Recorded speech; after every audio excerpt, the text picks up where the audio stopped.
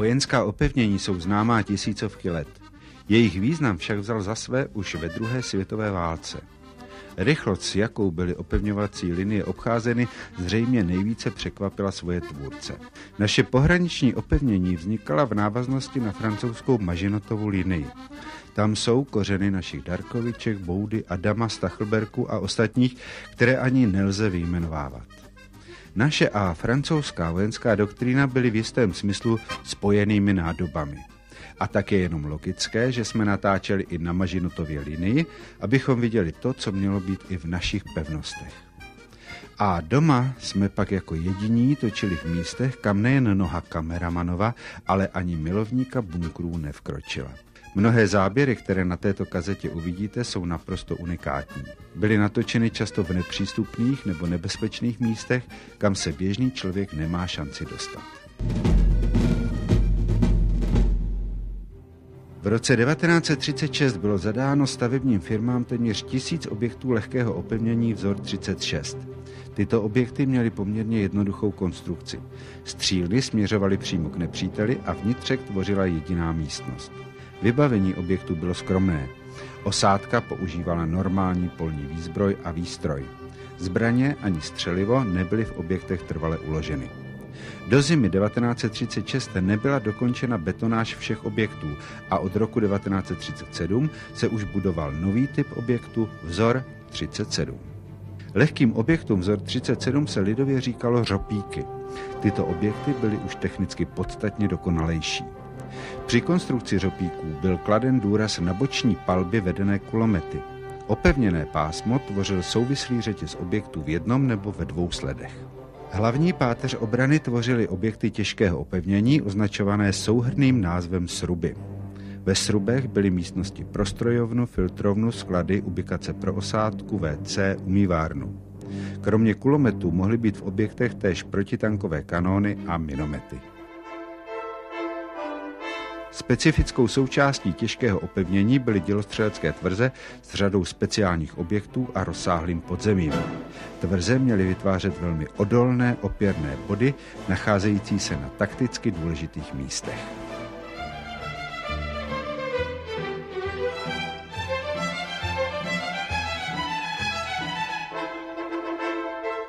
Prvním stavebním dnem na Dobrošově bylo 13. září 1937. Z původně plánovaných sedmi objektů byly do konce září 1938 stavebně dokončeny pouze tři sruby. Podzemí bylo sice celé vyrubáno, ale chodby a sály uložené v hloubce 20 až 40 metrů byly vybetonovány jen asi ze dvou třetin. Po dokončení měla mít tvrz osádku 571 mužů.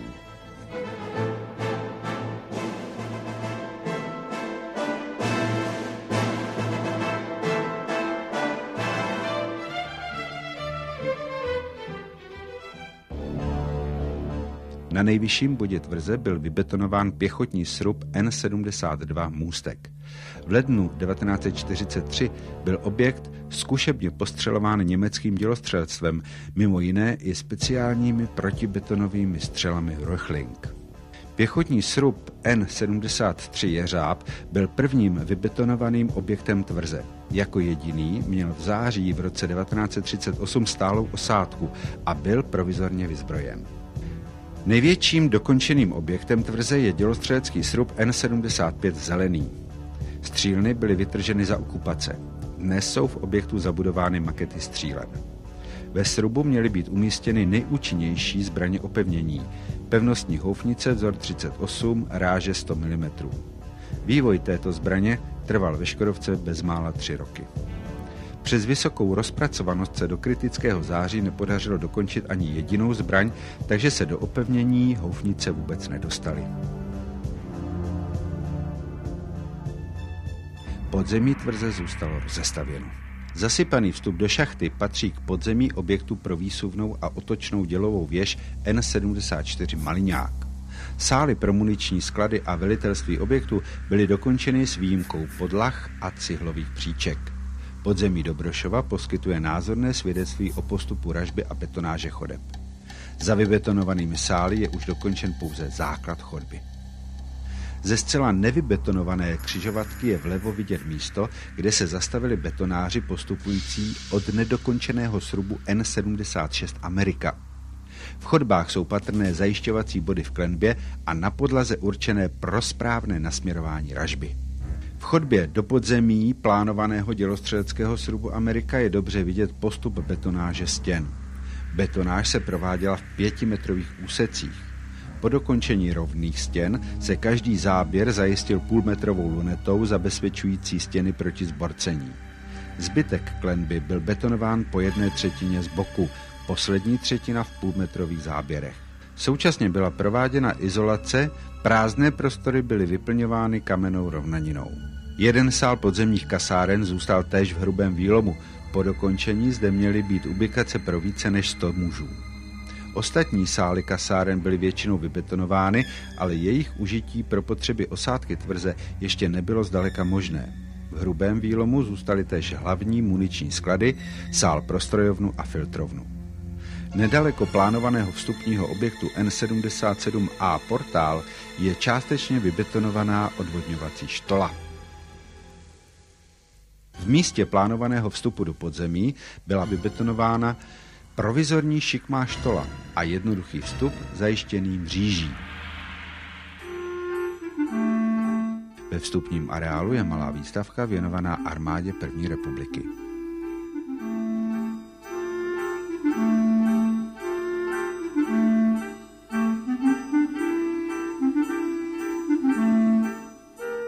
Největší československá tvrz byla budována od 16. října 1937 nad Babí u Trutnova pod názvem Stachelberg. Tvrz měla mít celkem 11 objektů spojených podzemím, ale do okupace pohraničí byl zcela vybetonován pouze pěchotní srub T-73. Další tři sruby zastihlo přerušení stavby po dokončení betonáže, schodiště a základů. Na stavbě pracovalo přes tisíc dělníků. Stavba měla stát 50 milionů předválečných korun. Do konce září byla ražba celého podzemí dokončena, ale plný výlom profilů chodeb byl proveden jen asi z 80%. Jen malá část podzemí byla vybetonovaná. Po dokončení měla mít tvrz osádku 778 mužů. Část povrchu tvrze je v současnosti zničena těžbou v kamenolomu, podzemí je zatopeno vodou.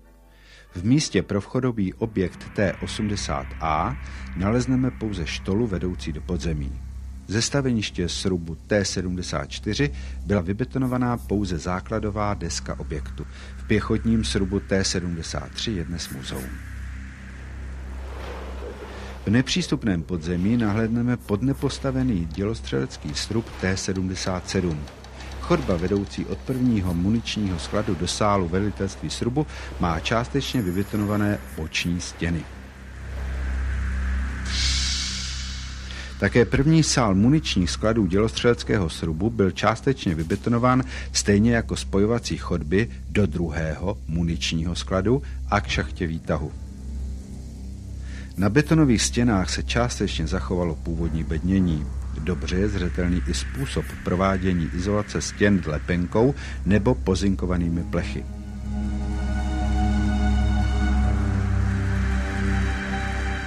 Šachty pro schodiště a pro výtah jsou zcela zasypány. V druhém muničním skladu scházelo v klembě sálu dobetonovat poslední půlmetrové pole. Betonáž sálu velitelství srubu byla dokončena asi ze dvou třetin.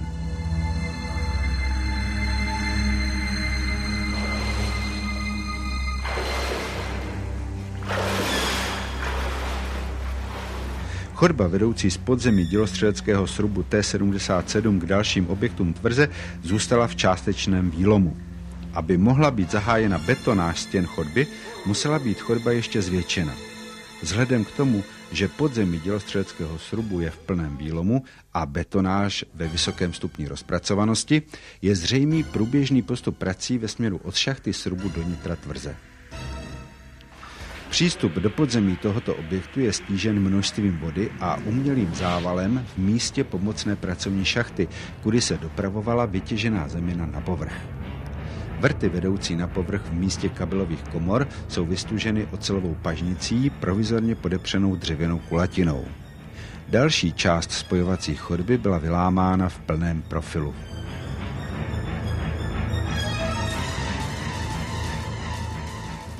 Chodba vedoucí od T75 ke kasárnám bývá zatopena až pod strop, jak je vidět podle černé stopy po skalené vodě na stěnách.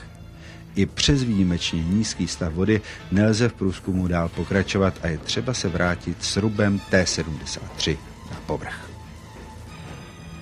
Stavba dělostřelecké tvrze Skutina u obce Sněžné byla zahájena 18. listopadu 1937. Po dokončení měla mít osádku 484 mužů. V místě vchodového srubu N52A v lese jsou zachovány dvě štoly nad sebou vedoucí do podzemí. Štoly jsou dokladem o technologii ražby chodeb velké světlosti. Podlaha horní štoly měla být později odstřelena a do vzniklého prostoru měla být umístěna zadní část vchodového objektu. Dělostřelecký srub N52 Bažina, tvrze Skutina, nebyl postaven. Šachta vedoucí do podzemí má dnes zachované bednění, ale je trvale zatopena vodou. Bednění zůstalo zachováno také v nevybetonované šachtě objektu N50 na Kótě pro výsuvnou a otočnou dělovou věž.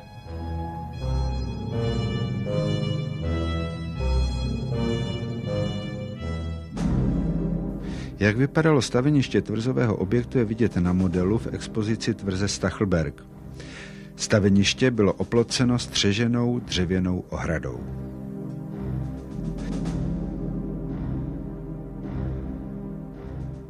Nádrže na vodu pro potřeby stavby se zachovaly na tvrzi Adam v prostoru stejnojmené kóty.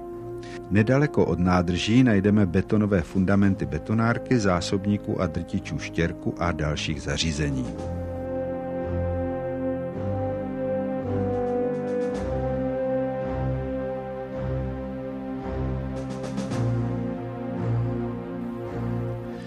Staveniště tvrzí zahrnovalo také řadu provozních budov, ubikace pro dělníky, kanceláře, kantýnu, truhlárnu a podobně. Na tvrzi Adam se v lese dodnes zachovaly turecké záchody.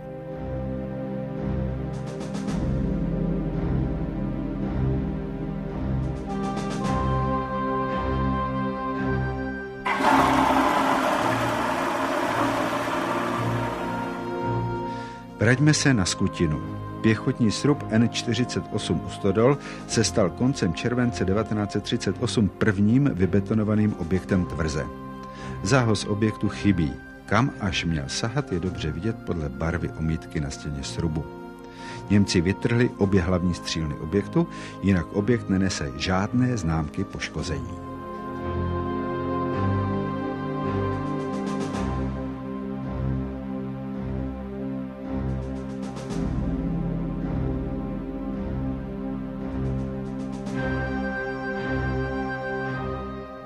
Po přerušení prací na stavbě tvrze došlo okamžitě k zatopení nedokončeného podzemí pěchotních srubů.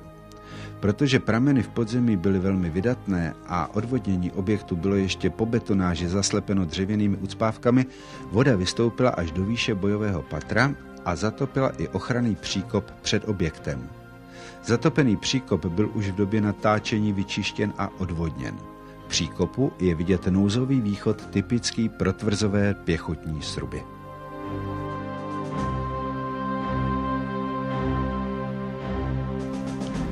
Čelní stěně objektu je dobře viditelné vybrání pro plánované usazení dělostřeleckého pozorovacího zvonu.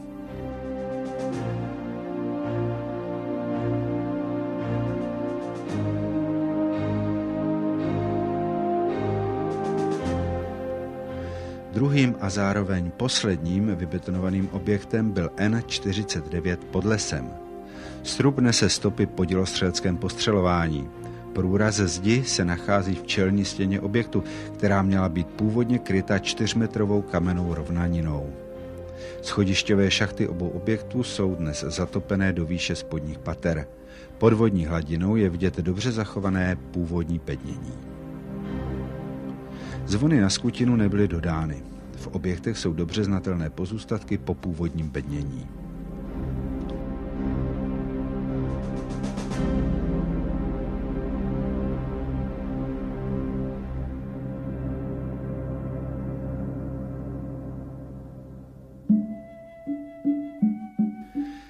Tvrz Orel měla mít osádku v počtu 405 osob.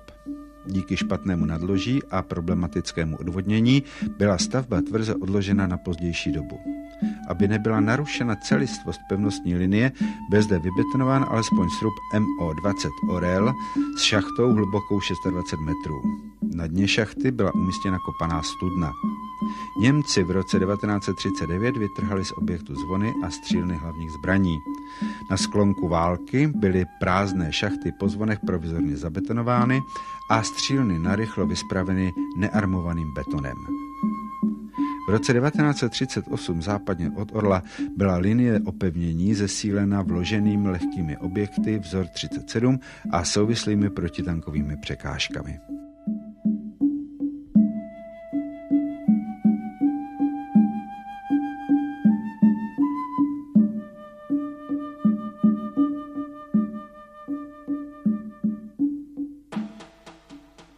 Válce byla do objektu snesena nevybuchlá munice.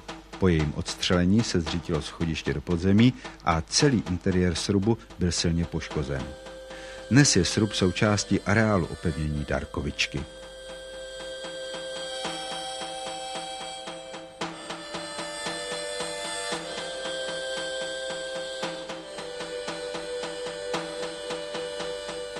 Tvrz Hanička byla budována od 14. září 1936 pro osádku 426 mužů. Vchodový srub R79A u silnice měl být spojen s podzemím nákladním výtahem. Na Haničce se v současnosti nachází moderní výtah z 80. let. Podobné řešení napojení vchodového objektu do podzemí najdeme například na Mažinotově linii u vchodu pro munici tvrze Fermont. Zatímco na Fermontu byl výtah určen pro průběžnou dopravu vozíků úzkokolejné dráhy, na Haničce koleje do výtahové klece vést neměly a tak by bylo nutné materiál dvakrát překládat.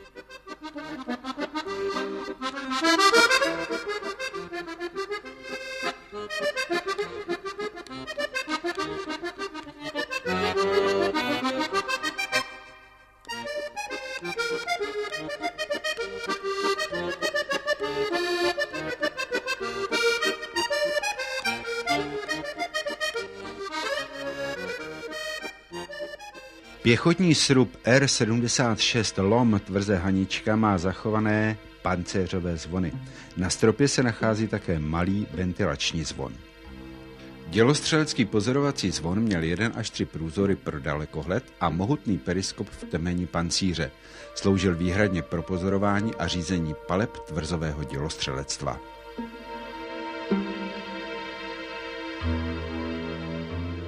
Nejpoužívanějším typem zvonu byl pěchotní zvon. Vyráběl se se dvěma až šesti střílnami. Hlavním úkolem pěchotního zvonu bylo pozorování předpolí a řízení palby hlavních zbraní srubu. Ve vrchlíku má zvon otvor pro periskop. K bezprostřední ochraně při napadení objektu sloužil lehký kulomet. Lehký kulomet vzor 26 ráže 792 byl standardní zbraní Československé armády. V září 1938 byl těchto zbraní dostatek.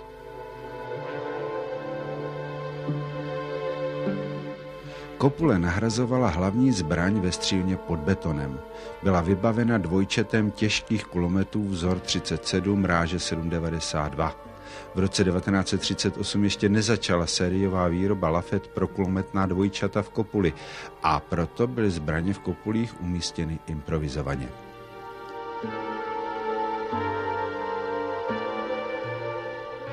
Pro kopuli je charakteristická dvojice průzorů opatřených optikou ve výši střílen, rozšiřující obsluze zbraně výhled do stran.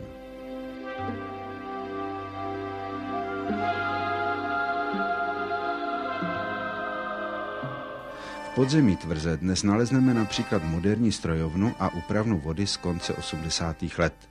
Podzemí Haničky je opět přístupno veřejnosti jako památník studené války.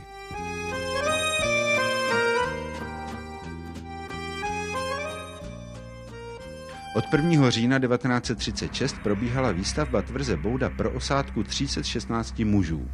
Vchodový objekt K22A Krok je jediným zachovaným objektem tohoto typu v České republice.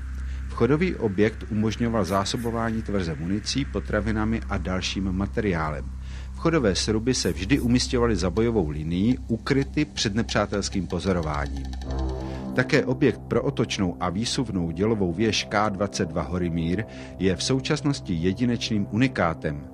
Výklenky v šachtě pro věž sloužily v dolním patře pro části strojního zařízení věže, v horním patře pro munici a bojové stanoviště velitele věže. Věž měla být vyzbrojena dvojicí houfnic ráže 100 mm. Vybavení věže se do září 1938 ze Škodových závodů v Plzni na opevnění nedostalo. Šachty pro věže zůstaly prázdné. Pěchotní srub MO-40 na Cilnicí patří do sestavy další dělostřelecké tvrze Smolkov. Tento srub nemá zbraně pod betonem, ale pouze v pancéřových zvonech. Ty byly za okupace na Smolkově vytrhány, ale Němci při přípravě na obranu proti rudé armádě upravili provizorně střílny betonem a zabetonovali zvonové šachty. Z dělostřeleckého srubu MO-39 u trigonometru Němci vytrhli střílny pro houfnice. Neodborné trhání je natolik poškodilo, že musely být sešrotovány. V současnosti jsou otvory po střílnách zcela zabetonovány.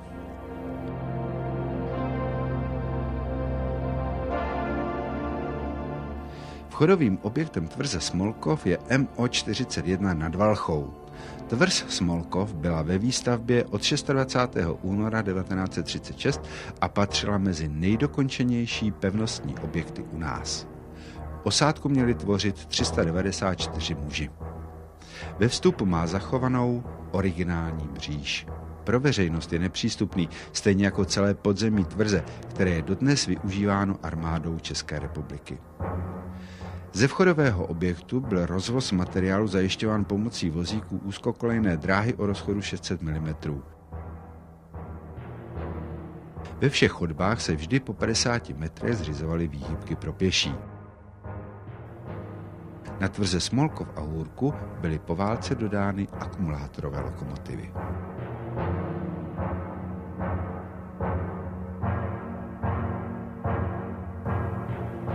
Díky tomu, že Smolkov byl ze všech tvrzí vybudován nejdříve, uvnitř tvrze najdeme mnoho pozůstatků po dobovém vybavení, které se na jiné tvrze nedostalo.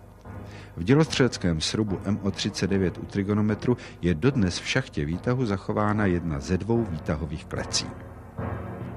Ve spodním patře najdeme pozůstatky po vybavení filtrovny.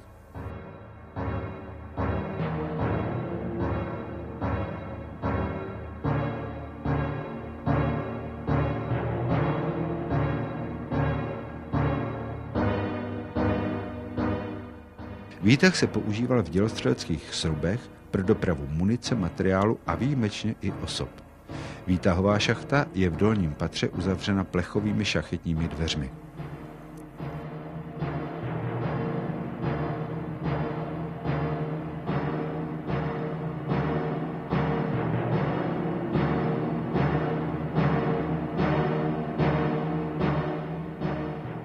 Ve spodním patře dělostřeleckého objektu byly původně dvě místnosti pro filtrovnu, tři kopky pro odpad prázdných nábojnic a dvě ubikace pro devět mužů.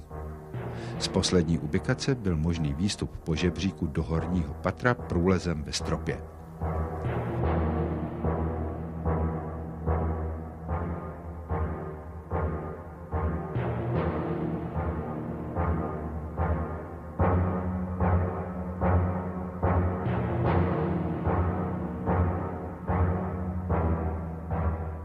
Poslední místnost v dolním patře je přístupná pouze z horního patra po žebříku, dalším průlezným otvorem s kladkostrojem o nosnosti 150 kg. Měla tam být ubikace pro tři poddůstojníky.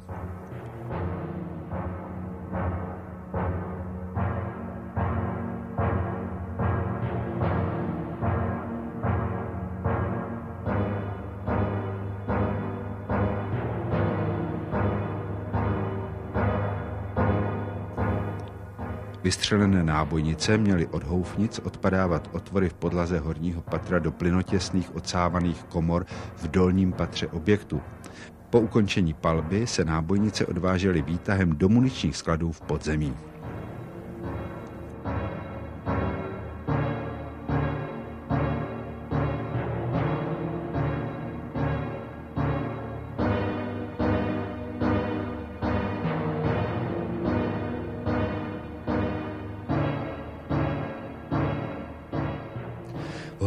Patře objektu byly střílny pro houfnice ráže 100 mm.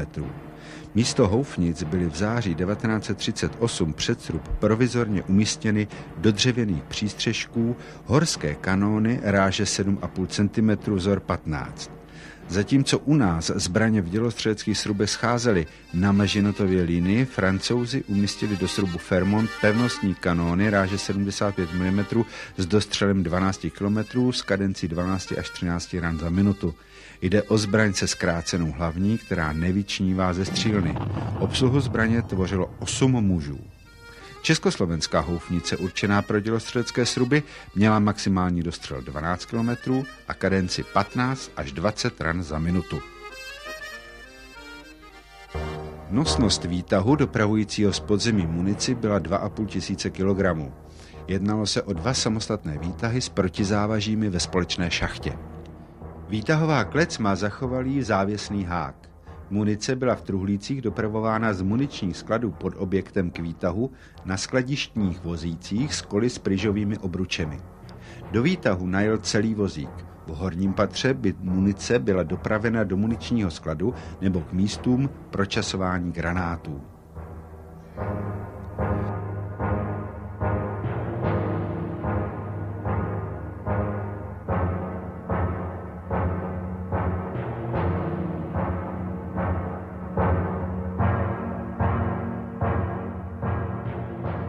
Objekt pro výsubnou a otočnou dělovou věž MO38 v lese má šachtu pro osazení věže uzavřenou betonovou nástavbou pocházející pravděpodobně z období okupace. Posledním objektem tvrze je dělostřelecká pozorovatelna MO42 nad Hájem. Vynikající výhled do údolí poskytoval velmi dobré podmínky pro pozorování předpolí línie těžkého opevnění a řízení palby dělostřelectva.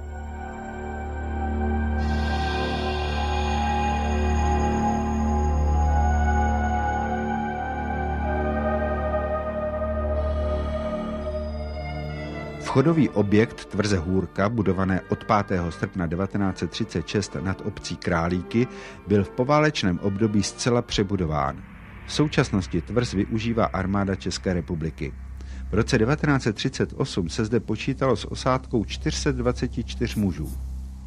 Při německých zkouškách československého opevnění byla instalována mřížová, padací a zasouvací vrata – Bezprostředně za mřížovými vraty se nacházela padací plnostěná plechová vrata, která se do dnešní doby nedochovala. Otvor v podlaze pro padací vrata byl po válce zabetonován. Zasouvací dvoukřídlá plnostěná vrata jsou dodnes na svém místě. Každou vráteň tvoří vystužený 4 cm silný plech.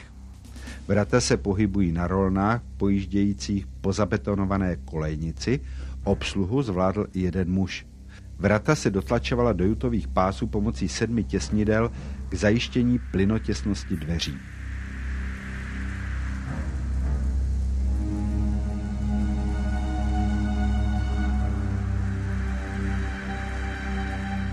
Malý vchod tradičně uzavíraly mřížové dveře a za nimi dvoje plechové silnostěné plynotěsné dveře.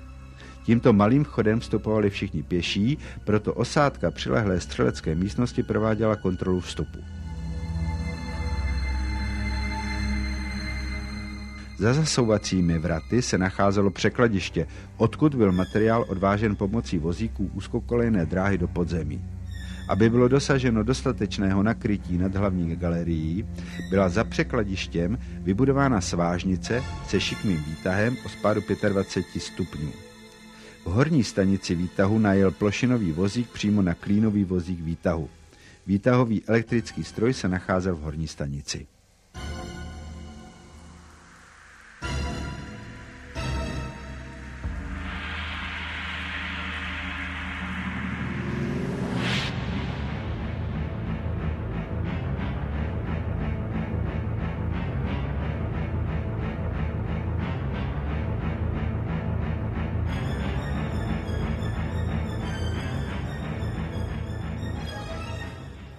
Plošinové vozíky tvořily jeden druhému částečné protizávaží. V dolní stanici zajížděl klínový vozík pod úroveň podlahy tak, aby plošinový vozík úzkorozchodné dráhy mohl přímo pokračovat po koleji do nitra tvrze.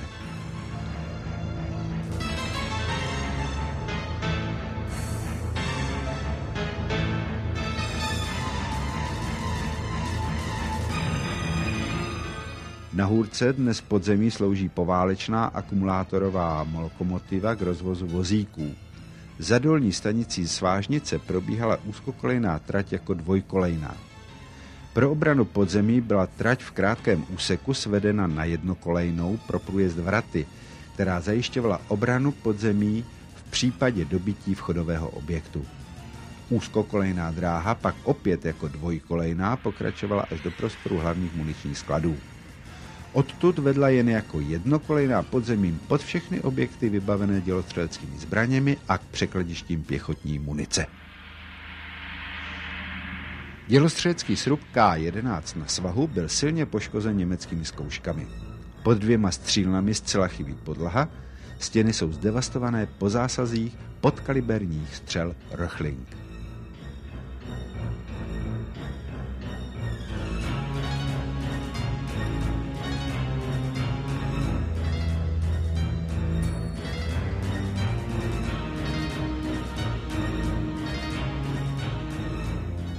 Podlaha je proražená i v šachtě prolevý zvon, kde dodnes zůstal podkladový prstenec. Zvony netrhali Němci, ale národní podnik Kovošrot v poválečných letech. Na schodišti pro pěší se zachovalo originální zábradlí. Výtahová šachta je prázdná.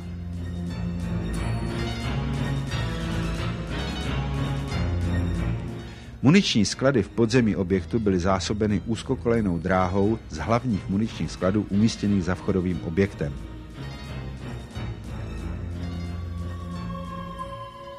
Srub měl být původně vybaven 8 cm kanóny. Protože vývoj této zbraně byl zrušen, měl být objekt vyzbrojen houfnicemi ráže 10 cm pro nepřímou palbu do králické kotliny. Střílny zůstaly do dnešní doby dobře zachovány. Stejně jako vnitřní prostory zvenčí, objekt nese výrazné stopy po německých zkouškách. Objekt pro výsuvnou a otočnou dělovou věž K12 na kótě má zabetonovanou šachtu pro dělostřeleckou věž. Jak měla taková výsuvná a otočná věž vypadat, vidíme na příkladu věže pro dva kanóny ráže 75 mm tvrze Fermont na Mažinotově linii. Výsuvná část této věže má hmotnost 130 tun. Československý typ měl mít hmotnost 120 tun. Otáčení věže kolem osy trvalo 60 sekund, vysunutí o 70 cm 7 sekund při elektrickém pohonu. Možný byl i ruční pohon. Houfnice umístěné ve věžích byly stejného typu jako v dělových srubech. Projekt Československé věže byl ukončen v roce 1938. V říjnu ve Škodovce byly ve vysokém stupni rozpracovanosti první dva kusy. Vnitřek věže byl složitý systém nejrůznějších mechanismů. U našich věží dalších 120 tun činilo protizávaží a nevýsuvné prvky dalších 180 tun. Hmotnost celé věže měla být 420 tun a cena 7 milionů 303 100 korun. Pěchotní srub K-13 u Lomu je druhým největším vybudovaným pěchotním srubem předválečného československého opevnění. Pěchotní srub K-10 u Boží muky měl být vybaven otočnou kulometnou věží. S touto věží se počítalo i do objektů, které nebyly součástí tvrzí. Příkladem jsou objekty K-18 u kostela v Dolních Boříkovicích a MO-23 Chlupáč u Darkoviček. Celková hmotnost věže byla 150 tun a byla vyzbrojena dvojčetem TK vzor 37. Věž měla dvě střílny a měla bezpečně odolávat zásahům granátů ráže 305 mm. Na podzim v roce 1938 nebyl ve Vítkovicích úplně hotov ani jeden prototyp.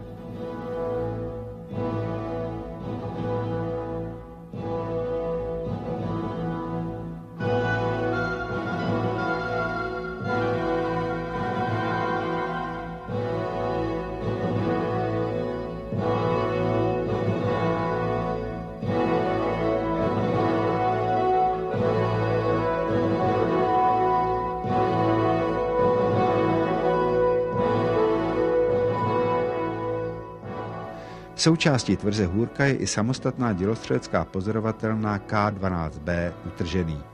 Stojí na kotě Veselka a má zachovalý pozorovací zvon.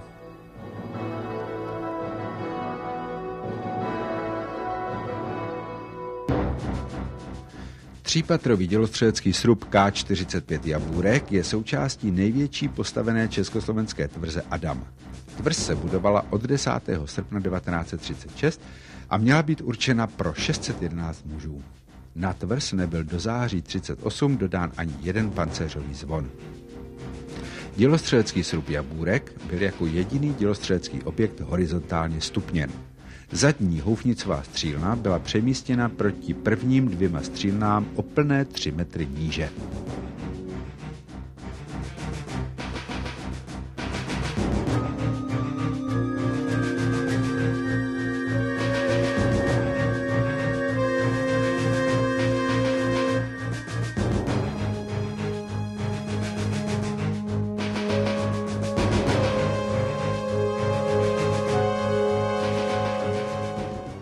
Munice byla dopravována z muničních skladů pod objektem k výtahu ve skladištních vozících na kolech s gumovými obručemi.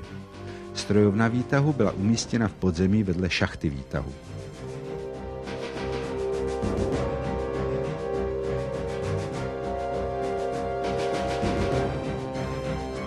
Pod příliš vysoko položenou střílnou pro lehký kulomet musela být vybudována pro obsluhu zbraně zvýšená betonová plošina – Atypická konstrukce objektu si vyžádal také zvláštní výtah pro dopravu prázdných nábojnic z dolního do středního patra objektu. Ve středním patře tak najdeme současně kopky pro odpad nábojnic i střílnu pro houfnici. Dolní patro bylo přístupné samostatným schodištěm umístěným mezi komorou na vystřelené nábojnice a houfnicovou střílnou ve středním patře.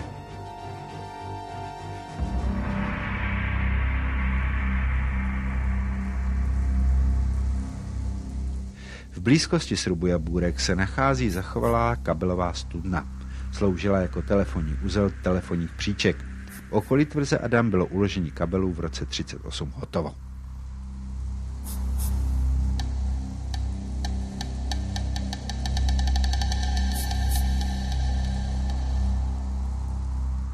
Pěchotní srub K-41 pod vrškem byl mimo jiné využit pro odvod skaženého vzduchu z prostoru kasáren. Za okupace ho Němci poškodili dělostřeleckými zkouškami.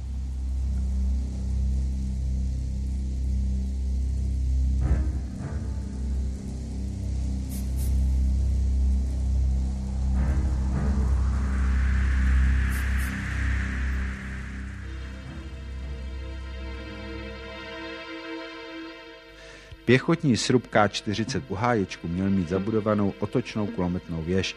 Jedná se o největší pěchotní srub u nás.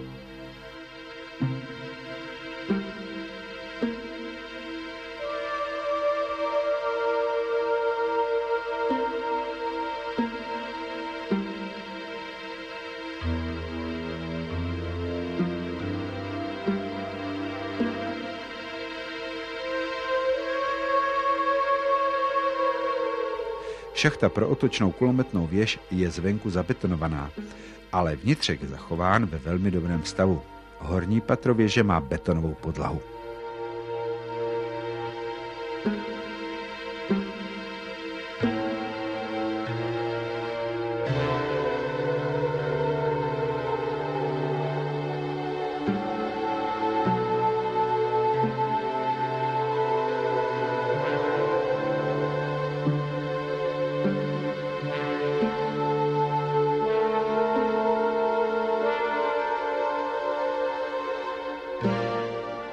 Výstup po schodišti do objektu je však velmi obtížný díky výronům vápence ze stěn.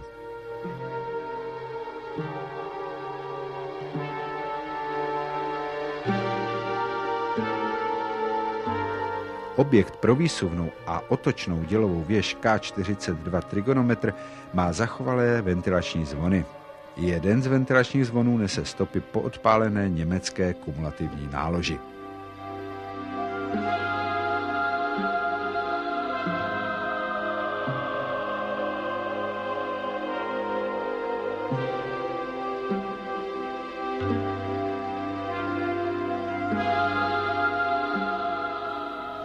Pěchotní srub K-39 Hodek byl silně poškozen německými zkouškami.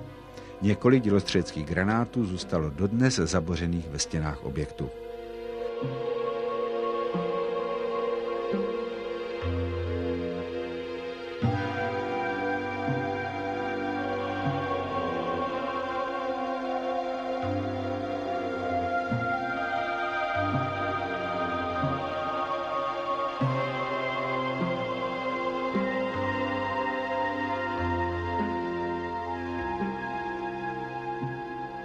Cihlové příčky přes značné destrukce většinou vydržely. Při stavbě byly odpruženy zvláštní vrstvou korku.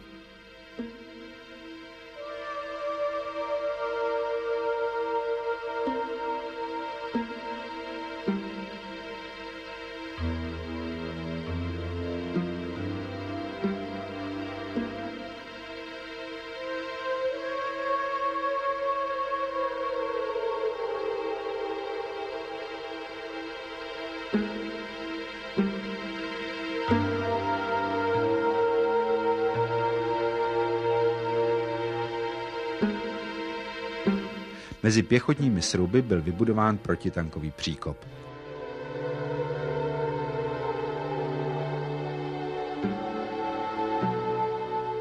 Dělostřelecký srub K-43 Veverka je nejzachovalejším objektem tvrze. Němci v roce 1940 objekt částečně dovybavili a provedli zde zkoušku jedné československé pevnostní houfnice ráže 100 mm. Výsledky zkoušek nejsou známé.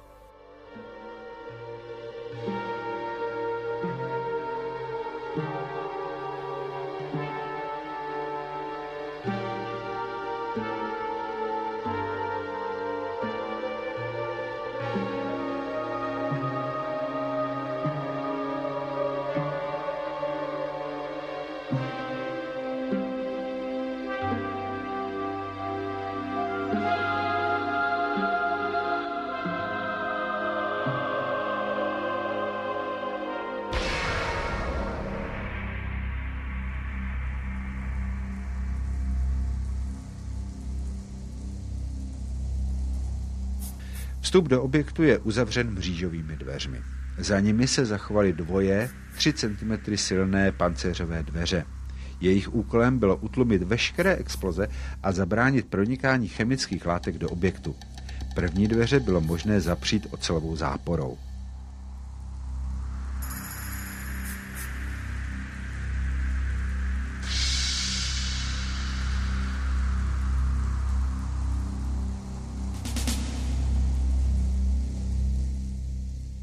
Němci pro zkoušku houfnice využili pouze levou krajní střílnu.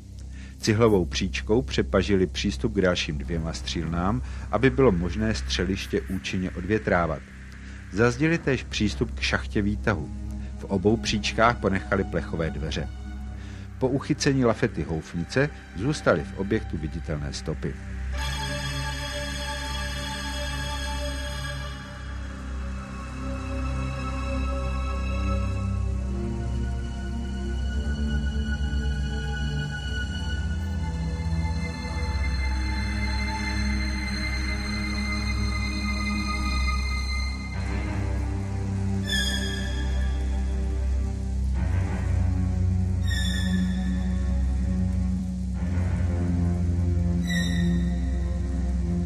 Dodatečně měl být na tvrzi vybudován ještě objekt pro minometnou kopuli s otočným vrchlíkem, ale bylo dokončeno jen podzemí.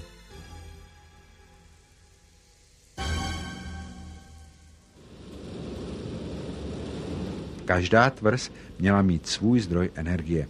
Agregáty měly být umístěny v podzemí ve dvou sálech strojovny. Na Adamu se počítal se čtyřmi agregáty po 130 kW. Strojovna na Adamu měla být uvedena do provozu koncem února 1939.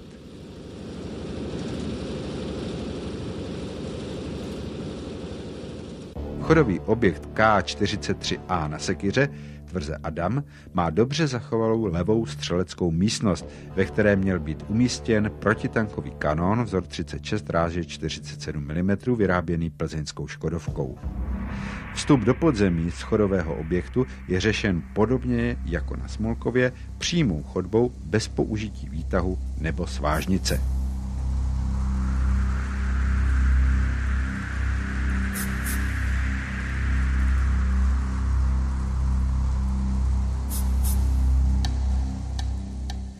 Prvnímu větvení podzemních chodeb dochází díky malému rozsahu podzemí již v muničních skladech za vchodovým objektem, kde odbočují chodby k oběma dělostřeleckým srubům. Koleje úzkokolejky nemohou mít větší stoupání než 10 promile.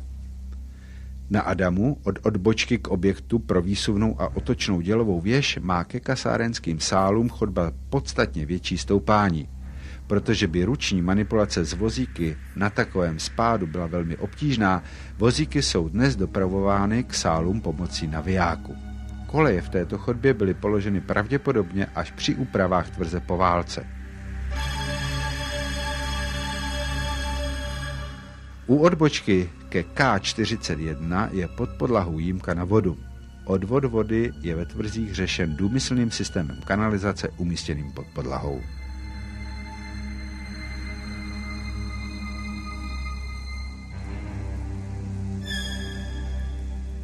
Chodby k pěchotním srubům bez kolejnic mohly mít stoupání až 40 promile. Materiál by se jimi dopravoval na vozících z kolečky s gumovými obručemi. Avšak co je to tvrz? Dle oficiální definice je to uzavřená soustava pěchotních a dělostřeleckých srubů, dělostřeleckých a minometných věží, podzemních ubikací pro osádku tvrze, skladiš střeliva a různého materiálu. Všechny tyto složky jsou spolu spojeny podzemními chodbami, na povrchu terénu jsou obklopeny souvislým pásmem překážek a tvoří tak samostatný celek. Na severní hranici mělo být vybudováno celkem 15 dělostřeleckých tvrzí. V roce 1938 bylo pět tvrzí stavebně téměř dokončeno a čtyři rozestavěny.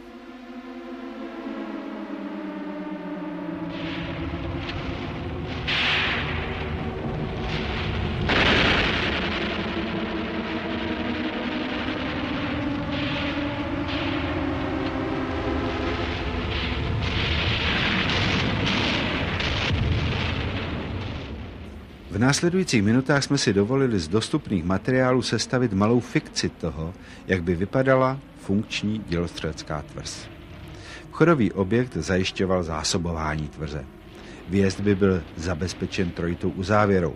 Po mřížových vratech by bezprostředně následovala vrata padací. Za zalomenou částí chodby jsou umístěna vrata zasouvací. Teprve za nimi se nachází překladiště. Materiál by se zde z nákladních automobilů překládal na vozíky úzkorozchodné dráhy nebo do výtahů.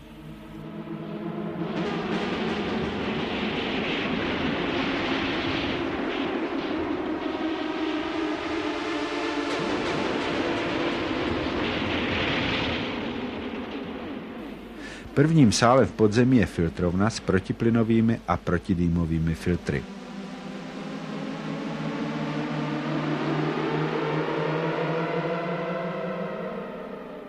Případě potřeby by výrobu elektrického proudu zajišťovaly dieselelektrické agregáty o výkonu 80 až 200 kW.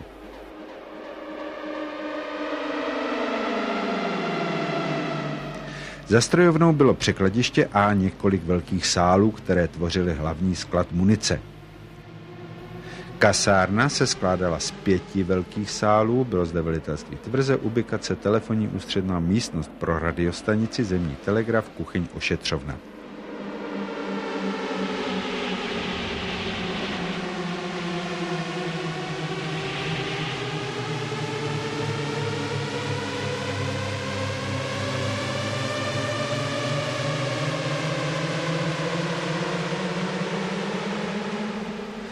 Hlavní chodby odbočovaly podpěchotní sruby chodby bez kolejí. K dělostřeleckým objektům vedly chodby s kolejemi.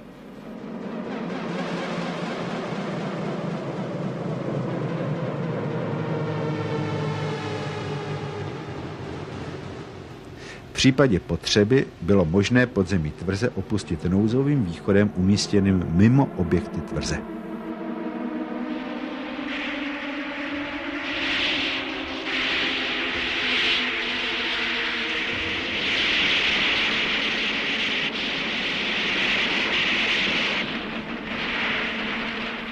Na povrchu se nacházely bojové objekty tvrze.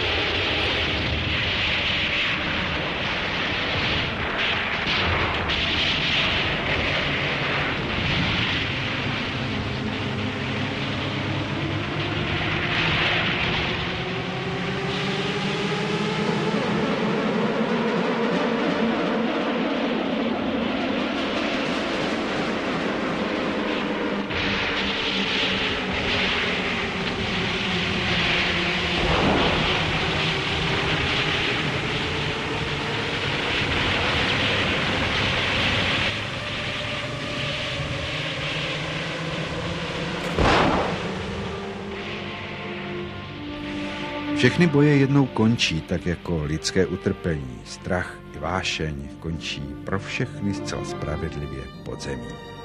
Bohužel se člověk lekne, co to provedl, až když vytekly potoky krve a řev raněných se navěky zaříznul do zdí, které jej měly chránit. Je dobře, že i kusy betonu, které měly člověka chránit, se staly místem zájmu současníků, neboť tím se vzdává hold životu i lidské vynalézavosti a umu.